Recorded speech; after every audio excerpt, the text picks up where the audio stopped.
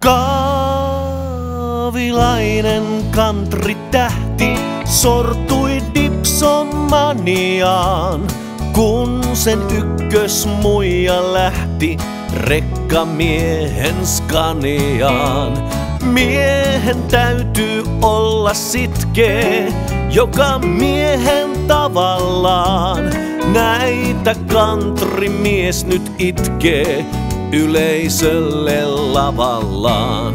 Kaavilainen tähti vaipui skitsofreniaan. Mustan miehen mukaan lähti kakkosvaimo Keniaan.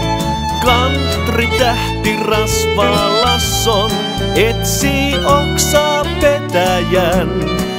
Nytkö kaalineuvokas on tullut käteen vetäjän?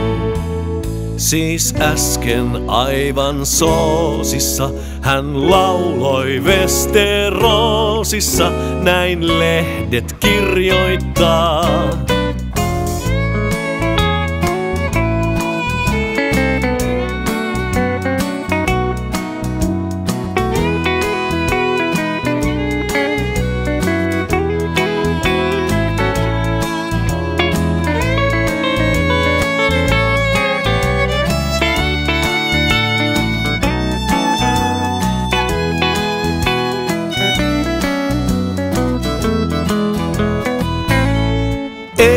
Eilen orkesteri lähti muka itsenäistymään.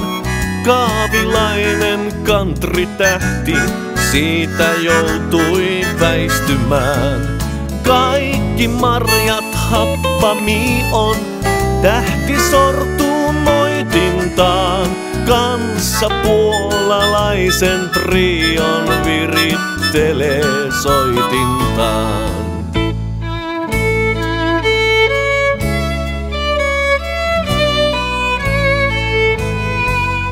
Ja TVn uutisfilmillä hän horjui läskit silmillä, näin lehdet kirjoittaa. Ja laulaessaan omilleen hän ylsi kolmeen promilleen. Näin lehdet kirjoittaa, näin lehdet kirjoittaa. Lopu laulun aiheet, kantrimies näin tuumailee. Entiset ja uudet vaiheet mielessään hän chuumailee.